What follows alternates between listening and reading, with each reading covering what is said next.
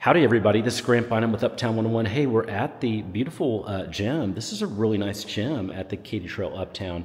I mean, I personally love this a lot because I go to LA Fitness and I love. Uh, I love the amount of light in here. It's real, you know, bright and cheery, so you can get a, you know, feel good when you're getting your workout in. But the amount of equipment that's here, this is pretty cool. Um, I, would be totally digging those treadmills. Those are really, really great. Um, and then uh, what I personally like is the weight equipment because I do weight equipment every single day. I love it. And this, for the size of this, this is pretty substantial.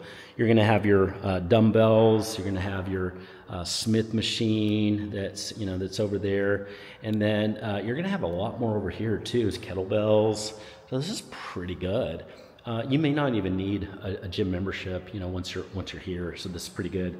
Uh, I do want you to note too, there is a studio room, so that's over here. So it's a private studio room, so you can, you know, have a, a more private deal. I think that's a mirror, like you know, the the mirror um, machine that's right over there too. So anyway, um, just wanted to just wanted to show this off to you. That's really really nice. Katy Trail Uptown has done a great job.